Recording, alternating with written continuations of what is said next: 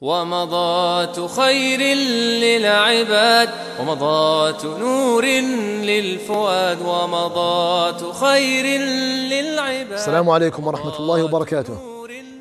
الحمد لله وحده والصلاة والسلام على من لا نبي بعده. وبعد معاشر المشاهدين والمشاهدات.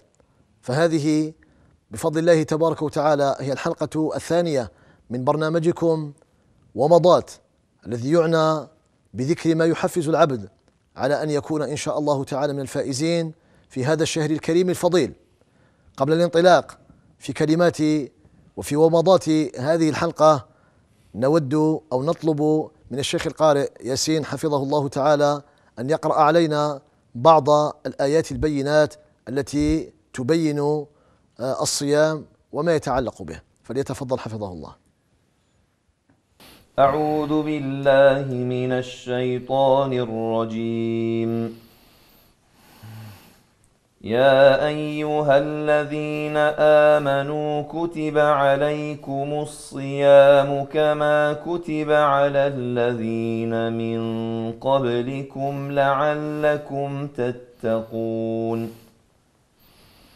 أياما معدودات فمن كان منكم مريضا أو على سفر فعدة من أيام أخر وعلى الذين يطيقونه فدية طعام مسكين فمن تطوع خيرا فهو خير له وأن تصوموا خير لكم إن كنتم تعلمون شهر رمضان الذي أنزل فيه القرآن هدى للناس وبينات من الهدى والفرقان. فمن شهد منكم الشهر فليصمه ومن كان مريضا أو على سفر فعدة من أيام أخر. يريد الله بكم اليسر ولا يريد بكم العسر ولتكملوا العدة ولتكبروا الله على ما هداكم ولعلكم تشكرون. جزاك الله خير. أه كنت أسمع كثيرا كلمة يرددها الشيخ عبد الحليم تميات حفظه الله تبارك وتعالى يقول فيها صم صوم مودع. كما نسمع دائما صلي صلاة مودع. الشيخ كان يقول صم صوم مودع. إحنا وددنا لو أن هذه الكلمة ومغزاها ومعناها يصل إلى المشاهدين والمشاهدات. تفضل شيخ. هذا الحديث حديث صلي صلاة مودع كان النبي صلى الله عليه وسلم يذكره للصحابة طلبا للخشوع أي من أراد أن يخشع في صلاته فيؤديها فيؤديها على أحسن حال. فما عليه إلا أن يجعل هذه الصلاة هي آخر كأنها آخر صلاة له في هذه الحياة. فكذلك المسلم والمسلمة ينبغي أن يجعل هذا الشهر لعله هو آخر شهر يصومونه في هذه الحياة الدنيا. فينبغي لهم أن يحسنوا صيامه وقيامه وأن يجعلوه من أعظم ما يتقربون به إلى الله عز وجل. فلعله إذا هو آخر شهر فكثير من الموتى الذين فارقوا هذه الدنيا ما كانوا يعلمون أنهم لن يحضروا الشهر القادم أو الشهر الذي نحن الآن فيه. فهم الآن من طواهم الثرى واللحود وصاروا ولم يعودوا من أهل هذا الوجود. فلعلنا فلعل حالنا يكون حالهم ومآلنا يكون مآلهم. جزاك الله خير شيخ جزاك الله فيك. آه يقال إن شهر رمضان مدرسة لا تبارى ومعهد لا يمكن أن يجارى. فما مدى صحة هذه المقولة؟ فضيلة الشيخ عبد القهار غلاب حفظكم الله الملك الوهاب.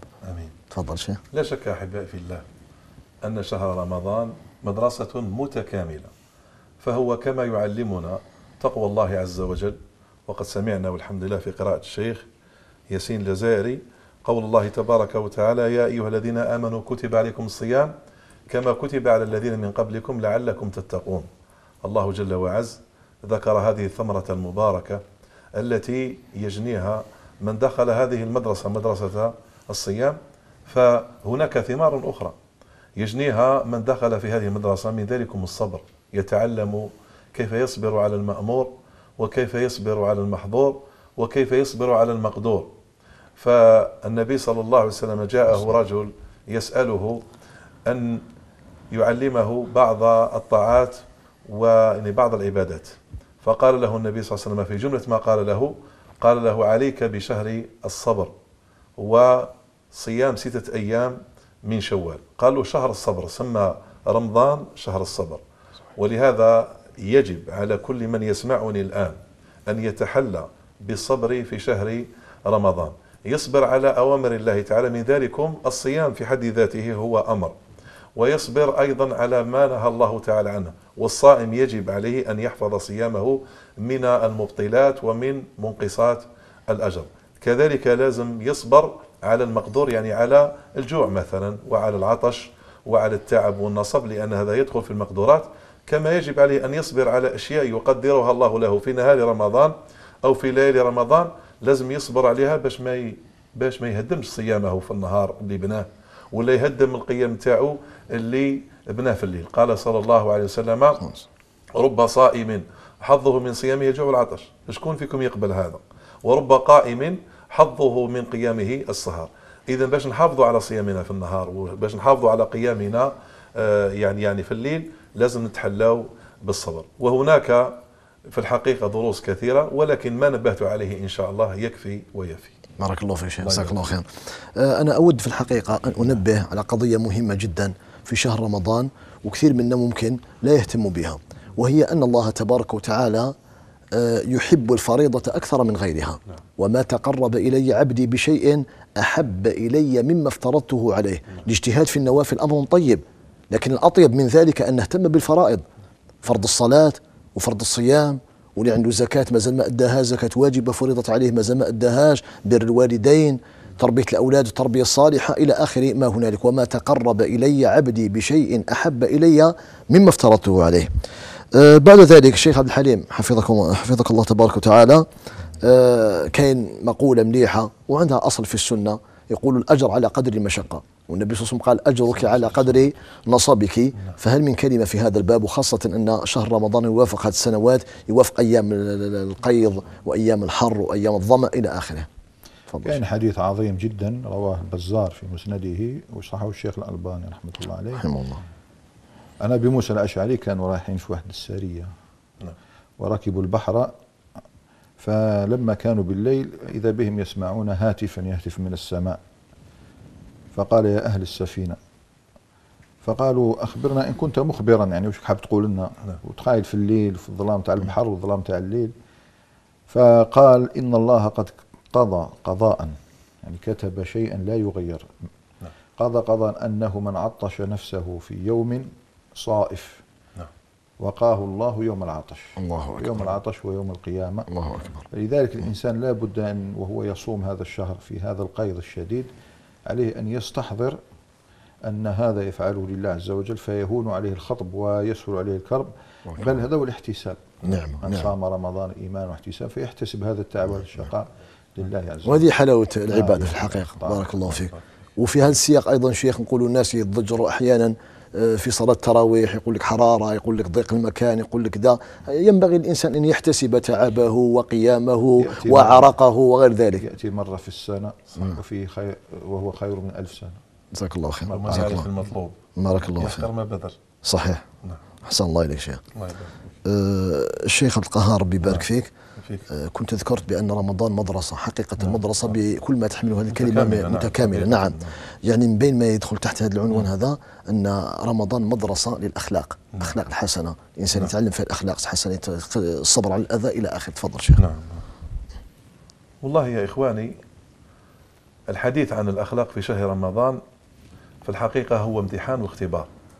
يعني الإنسان كي نهار يصوم هنا صح يبان إذا متخلق بأخلاق الإسلام ولا راهو صايم كما يقول بعضهم راه داير إضراب عن الطعام فقط. النبي صلى الله عليه وسلم يقول كما في الحديث السابق اللي ذكرناه رب صائم حظه من صيامه الجوع والعطش يعني راه يجوع في روحه ويعطش في روحه. ورب قائم حظه من قيامه وشنو؟ التعب ولا السهر. معنى ذلك أن هذا الإنسان لو كان نشوفه في الظاهر صام وقام ولكن ما السبب الذي جعل الذي جعل صيامه لا ينظر الله إليه وقيامه لا ينظر الله إليه. هو أن هذا الإنسان صام صياما ظاهريا فقط. ما كلا ما شرب ما اقترب يعني الزوجة تاعو وفي الليل صح قام ولكن للأسف جاء بأعمال أخرى هذه الأعمال هذه منها أخلاق سيئة ارتكبها. وهذه الأخلاق السيئة اللي ارتكبها ربما تبطل حتى صيامه.